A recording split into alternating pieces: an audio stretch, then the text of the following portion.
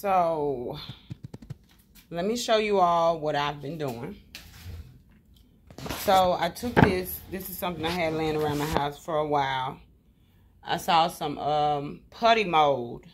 I'm not sure. I forgot the name of it. I throw the box away. But I took it and I rolled it over it, pressed it out real good. And that is how I got this mold I made myself. So from that, I'm making my own little footprints. This is one that I'm almost finished with. I got to cover it with resin. I did the words. These are the ones I'm not finished with. This is something I also had laying around my house for a while. I did it the same way. Let me find the mold real quick.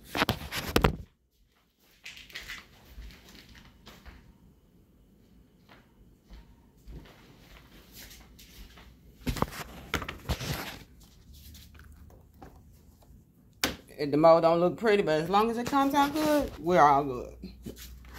So from that, I made these.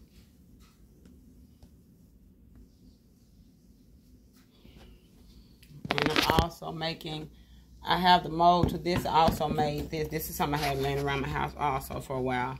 This is one I made from the mold. I'm not finished with it. The mold is somewhere around the house. I don't know where it's at. I got molds everywhere.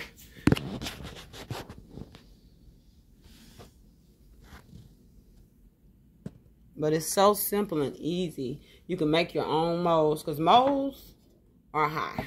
They're expensive. I'm making these also.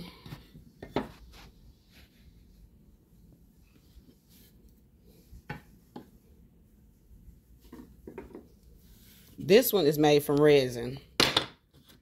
These are made from plaster Paris concrete cement. I mixed together. This one you can drop it, it will not break.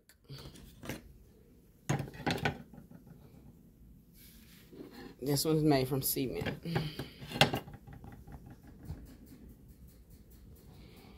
But just to give you guys an idea of what I'm doing. see, my phone is low, so my light will not come on. Let's see here. Hold on. Flashlight.